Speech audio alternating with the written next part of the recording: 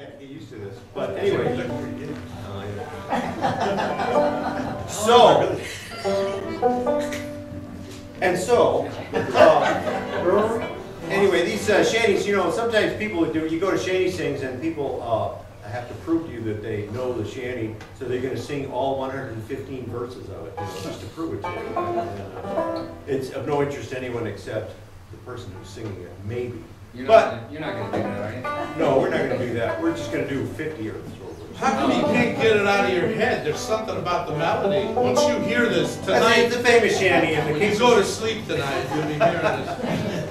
a lot of people done the shanty, it's one of my favorite shanties. It's like that song Achy Breaky Heart. And it tells you about whaling. It's all about whaling, which as we all know, whaling was a bad thing to do for the whales, but it wasn't as easy on the sailors that did it either. It was like the last thing any sailor wanted to do was go whaling.